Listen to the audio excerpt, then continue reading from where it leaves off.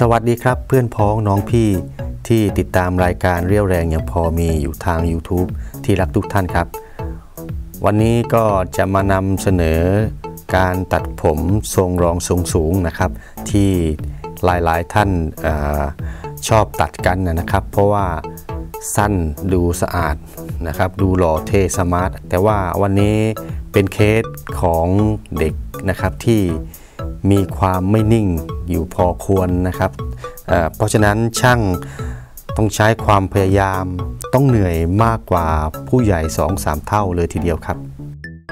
เนื่องจากความไม่นิ่งของลูกค้านะครับ ผมวันนี้ก็จะใช้เทคนิคปัตเตเลียนแทนการใช้หวี ก็จะใช้หวีน้อยที่สุดนะครับ ก็เริ่มจากการตั้งเกณฑ์รองสูงสูงบริเวณหน้าผากนะครับ ไถเกรียนเป็นขอบขึ้นไปเลยนะฮะ เกณฑ์ด้านหลังก็จะอยู่ประมาณขอบอูบนนะ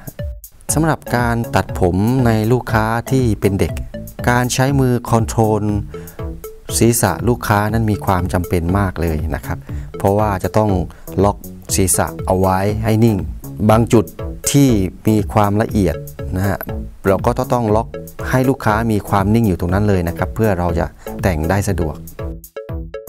ก็ตั้งเกณฑ์ให้ครบทั้ง 3 ด้านนะครับ เกณฑ์บริเวณตรงนี้ก็คือบริเวณแนวที่จะต้องเฟดขึ้นไปนะครับ จากเกรียนก็จะเฟดไล่ขึ้นไปเรื่อย ในการตั้งเกณฑ์ครั้งแรกนั้นนะครับ ก็ใช้ปัตเตอร์เลียนเบอร์ศูนย์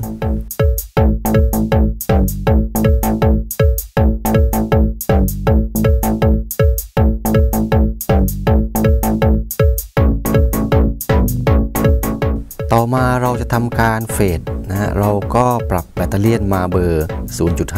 0.5 นะครับ แล้วก็เดินแบตเตอรี่ไปยังจุดที่เราจะต้องการเฟดนะครับ ก็ขึ้นไปสูงกว่าระดับเดิมประมาณ 1 นิ้ว เดินแบตเตอรี่ในลักษณะเชิดขึ้นนะครับ เนื่องจากว่าศีรษะของลูกค้าที่เป็นเด็กนั้นเนี่ย มันมีความไม่เรียบนะฮะ ก็บางส่วนนูนออกมา บางส่วนก็ยุบลงไปอะไรอย่างเงี้ยนะ ก็จะต้องใช้ปัตเตอร์เลียนเดินไปให้เกิดขาวนวลกลมกลืนให้ได้นะ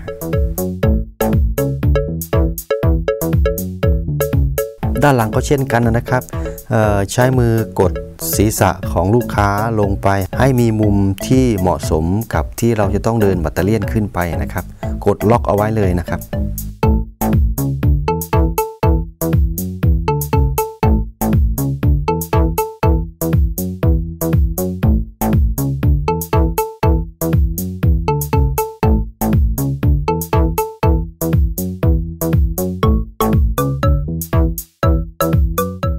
ด้าน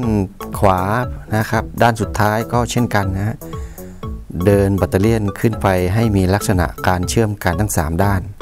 แล้วก็มีลักษณะการเฟด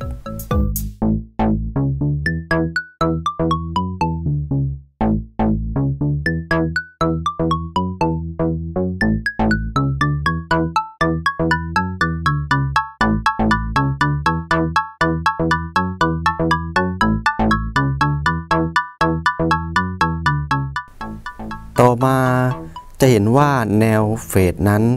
ยังมีเป็นขอบเป็นขั้นอยู่นะครับ เราก็จะต้องใช้ปัตเตอร์เลียนเบอร์0ถึงจุด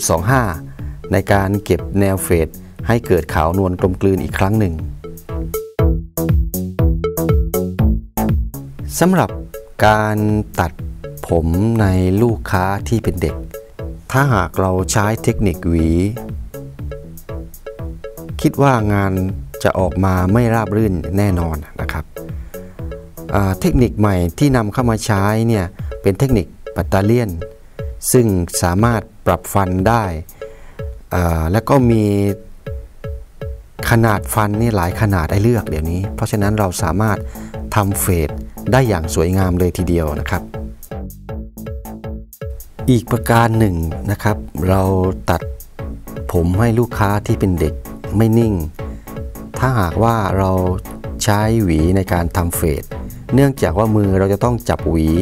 แล้วก็อีกข้างหนึ่งเราก็ต้องจับแบตเตอรี่ไว้ ในเมื่อมือสองข้างของเราไม่ว่าง เราก็มีเหลืออยู่แต่ปากเท่านั้นนะครับ ที่จะใช้คอนโทรลศีรษะลูกค้านะครับ ซึ่งก็ไม่สามารถทำได้นะครับ ไม่ว่าจะเป็นการขู่เข็น ไม่ว่าจะเป็นการดุ ว่ากล่าวตักเตือนอะไรก็แล้วแต่ไม่สามารถคอนโทรลได้นะครับ ถึงได้ก็ได้ประเดี๋ยวประดาวเท่านั้นเอง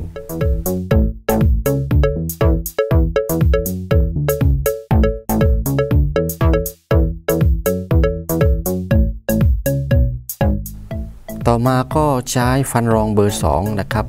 ด้านข้างก็ขึ้นไปสู่แนวลูกแก้ว ส่วนด้านหลังนั้นขึ้นไปสู่ระดับขวัญนนะครับ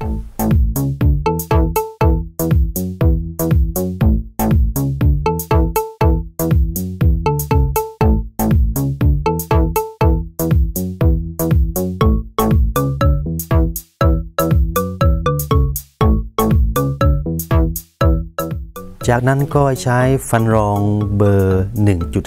1.5 ในการเก็บ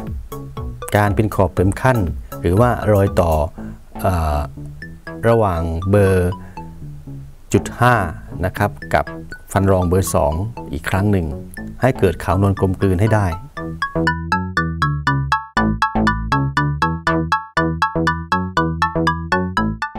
ต่อมาก็จะใช้ฟันรองเบอร์ 4 ตัดผมส่วนด้านบน ก็จะมีการเว้นผมในส่วนหน้าเอาไว้นะครับ แต่การใช้ฟันรองตรงนี้นะครับ ถ้าหากว่าเราตั้งฟันรองขนานไปกับหนังศีรษะนะครับ ความยาวที่ได้ก็ได้เท่ากับเบอร์4แต่ถ้าหากว่าเรามีการยกฟันรองขึ้น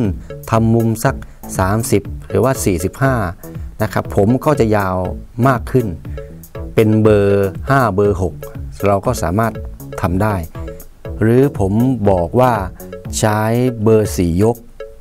นะครับคือจะมีการบอกให้ลูกค้าจำเอาไว้ว่า ส่วนข้างบนของลูกค้ารายใดรายหนึ่งเนี่ยจะเป็นลักษณะการใช้เบอร์ 4 ยก บางทีลูกค้าก็ต้องการเบอร์ 5 เบอร์ 6 อย่างเงี้ยแต่ว่าเราไม่ได้มีไว้กับร้าน การเดินบัตเตอเลียนด้านบน มีลักษณะย้อนผมนะครับ ถ้าหากว่าเราเดินเร็วไปเนี่ยก็จะทำให้ลูกค้านั้นเจ็บได้นะเพราะฉะนั้นเนี่ยเราก็ไม่ต้องรีบนะครับ เดินปัตเตอร์เลียนเบอร์ 4 ไปให้เชื่อมกับแนวผมให้ทั่วทั้งศีรษะนะครับ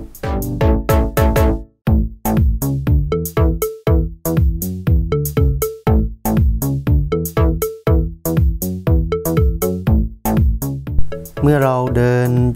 ย้อนผมไปเสร็จแล้วนะครับ เราก็มีการเดินตามเส้นผมจากด้านหลังมาด้านหน้าอีกครั้งหนึ่งเพื่อจะเกี่ยความสูงต่ำของเส้นผมอีกครั้งหนึ่ง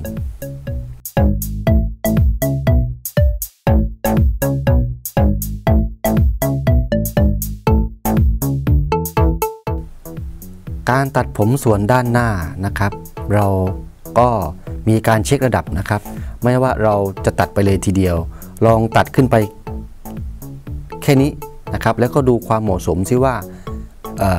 ดูดูดีไหมนะครับ ถ้าหากว่ายังไม่เหมาะสมเราก็เพิ่มตัดเพิ่มขึ้นไปอีกนิดนึงนะครับ แทนการที่เราจะตัดทีเดียว ซึ่งมันไม่สามารถแก้ได้ มีการเปิดดูแนวชายผมตรงบริเวณหน้าผาก ว่าอยู่บริเวณตรงไหนนะครับ เพื่อที่จะได้มีการกะเกณฑ์ในการตัดผมด้านหน้าได้ ในเมื่อเราได้แนวแล้วเราก็ตัดไปให้ทั่วบริเวณหน้าผากครับสำหรับลูกค้าที่ไม่มีหน้าผากหรือว่ามีผมอ่อนขึ้นอยู่บริเวณหน้าผาก เราก็ต้องเก็บไป ให้เรียบร้อยนะครับ แล้วก็ทำให้ลูกค้าได้มีหน้าผากที่เหมาะสมสวยงามยิ่งขึ้นนะครับ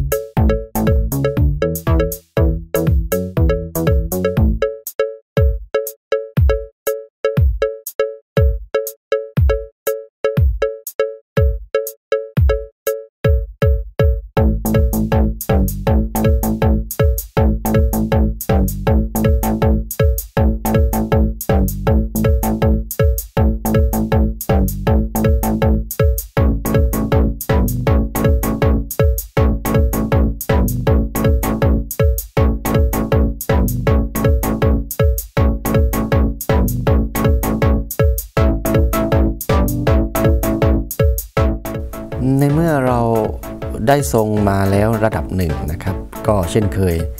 ก็จะมีการปรับ แต่งความเรียบร้อย แล้วก็ปรับแต่งทรงผมอีกนิดหนึ่ง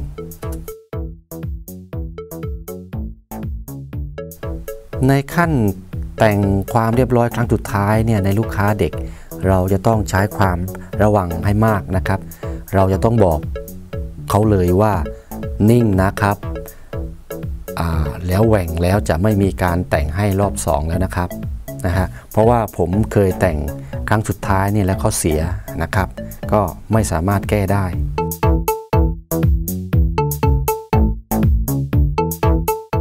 เมื่อเราแต่งความเรียบร้อยแล้วนะครับ ก็ซอยผมหน้าม้าบริเวณด้านหน้าให้ดูซอฟลงนิดหนึ่งนะมันเป็นหน้าม้าแน่นอนนะครับ แต่ว่าเราจะทำให้มันดูซอฟลงนิดหนึ่ง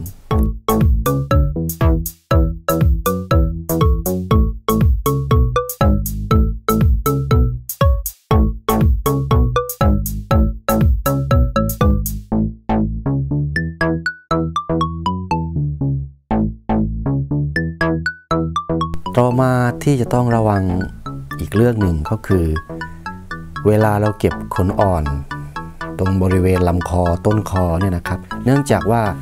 ปัตเตอร์เลียนเราใช้ไปแล้วเนี่ยมันเกิดความร้อนตรงฟันของมันนะครับ แต่พอเวลาเรามาเก็บขนอ่อน เนื้ออ่อนตรงบริเวณลำคอของเด็กเนี่ยเวลาเราเดินปุ๊บเนี่ยความร้อนเนี่ยมันจะไปแตะผิวหนังทำให้ลูกค้าเขาทำคอย่นหรือว่าตกใจอะไรเงี้ย มันจะทำให้แบตเตอรี่นี่บาดคอลูกค้าได้นะครับ เพราะฉะนั้นใช้มืออีกข้างหนึ่งกันล็อกเอาไว้เลยนะครับ